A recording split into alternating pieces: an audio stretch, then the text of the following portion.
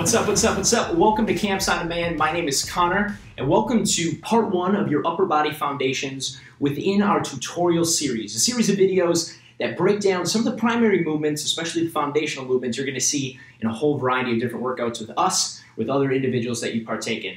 Now for today, all you really need to know is that everything's gonna be body weight, except for one point, I'm gonna give you the option to grab a chair or a bench or something with a variety to go through a progression of one of our movements. We got three movements we're gonna break down the plank, the push-up, and the dip. Once we break those down, we're gonna go ahead and show you a couple variations of them. Other than that, every single one of our workouts comes with a curated playlist that you have the option to check on out. That's in the details section. I'm gonna get mine started. I got mine jammed in my ear. If you wanna get it started, we're gonna get it started all together. You got about five seconds in three, two, one. Welcome to the workout. Let's do this thing. So, very first movement, the plank. We're gonna break it down piece by piece, three minutes at a time. Go ahead, lay down flat, both feet down on the ground. Let's talk about core engagement for this. Take one hand, place it underneath the low back. You may feel pressure on that hand immediately. May have a little bit of a curvature. That's natural. The lumbar spine has a little flexion. What we want to do, take the navel, pull it into the spine, press down into that hand, release. This is called imprinting. You want to imprint, press into the hand, release. I can take my hand out and still imprint down, low back into the mat, bring it up. We're entering into the plank, so we want to focus on core engagement. It's going to be something here over and over again. Now, as I'm quote unquote imprinting, my pelvis is tipping back. I'm tucking my pelvis, almost like it's rotating like a pelvic thrust. Go ahead, and hold in three, two, and one. Hold here. I want you to feel that tension building in the abdominal wall and your rectus abdominis here. We're going to hold this tension as I turn you over in three, two, and in one. Turn on over. Find me. Shoulders over the palms. From here, tuck that pelvis again. I'm not rounding or arching, but I'm just pulling in like I did on the floor. Now, can we go ahead and walk ourselves back out so our knees are on the ground? Finding a straight line head to knees, this is the start of our plank. Anytime you're in a plank, you think straight line head down to point of contact with the floor. From this position, can you hold your finger pads and press them into the ground? Instead of resting on the wrists, we're pressing away. So my first knuckles are almost turning white because I'm gripping the ground like I got suction cups. My upper back is pressed away, and of course, my pelvis is tucked, core engaged. Now to make this a little bit more advanced, we got two options. Number one, we can go onto one toe. Now, instead of having a straight line head to my knees, I have a straight line head to toe.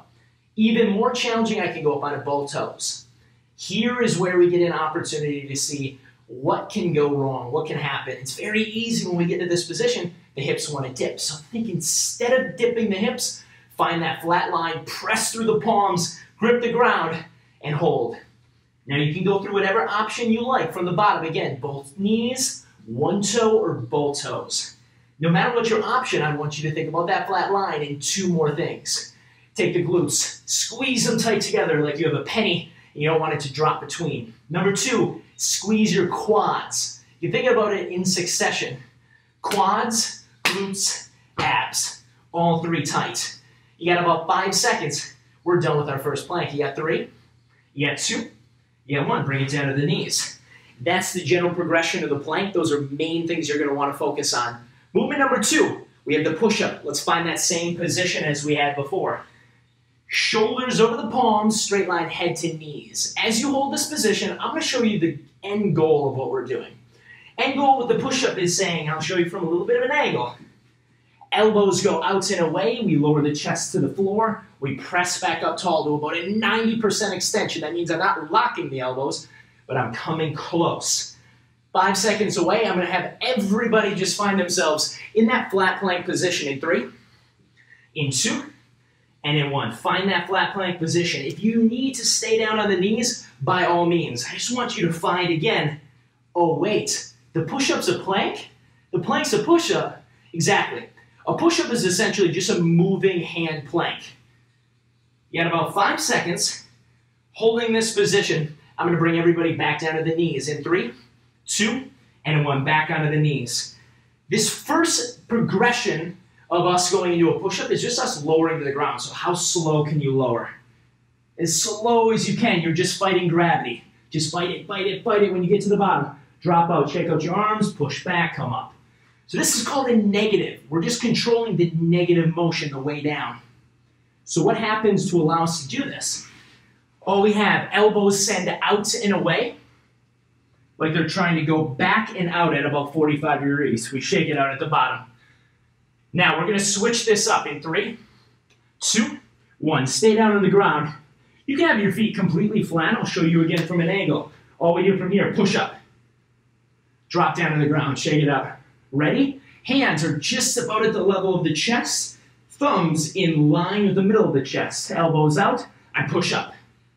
Drop it back down. You can start this out on the knees. Push up. Or you can go right to the toes. In three, in two, and in one. Everybody back on the knees. Shake it out. This is where we're going to put it all together. Find that straight line head to knees. Instead of just lowering, instead of just pressing, we do it together. In three, two, and a one. Send the elbows out away. Lower down slow. Press up tall. If you want a little bit more of a challenge, just like we built up with our plank, one toe down, one knee down. Even more of a challenge, both toes down. What did we say at the end of our plank? We want to avoid dropping the hips. We want to avoid raising the hips. So control that flat line. This is the most challenging, a little less, a little less.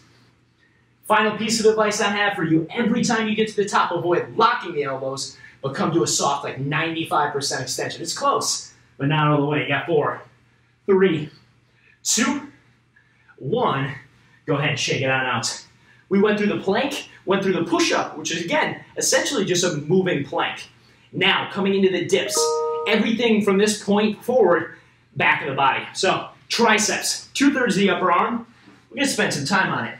First thing first, let's get the positioning down. We'll start out on the ground, but we'll elevate to the bench later. Hands down so my fingers face forward.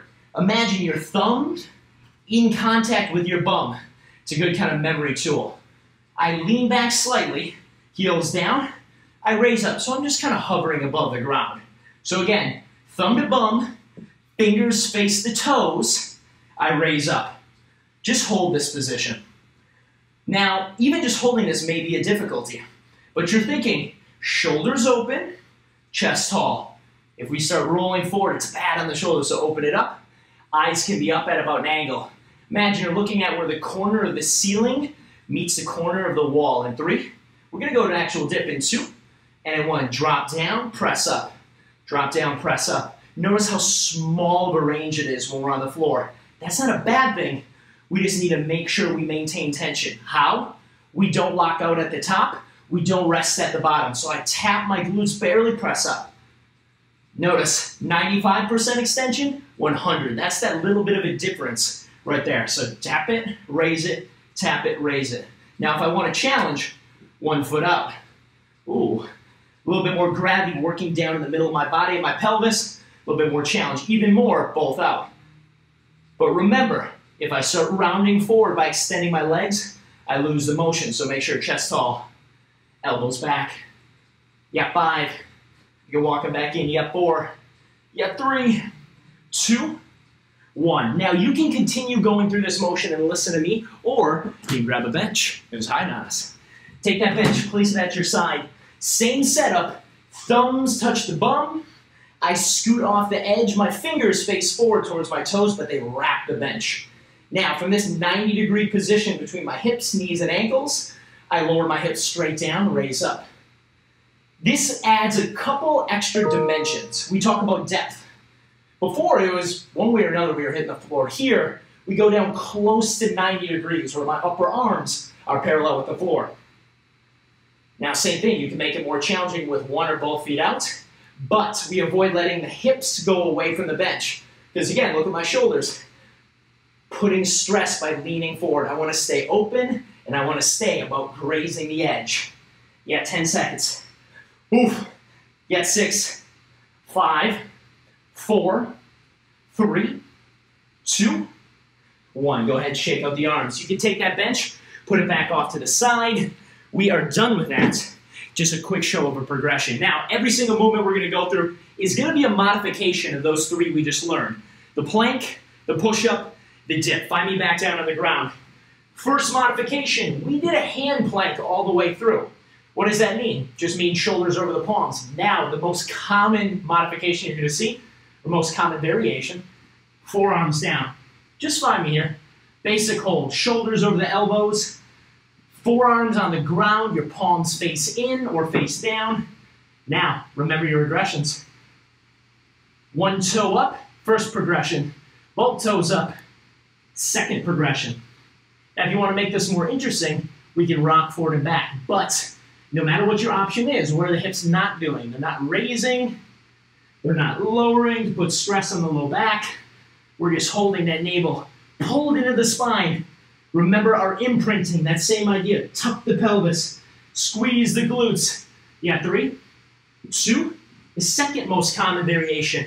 Right forearm down on the ground, right knee down on the ground, left leg stacked. Push the left hip up. This is called a right side plank. So, if you can see me, I try to aim to have a straight line from my top fingers down through my bottom elbow. My forearm perpendicular to my torso. From my nose all the way to my toes, I've got a flat line. Now the second, almost more important point is that my shoulder doesn't come towards my ear. I don't collapse into it.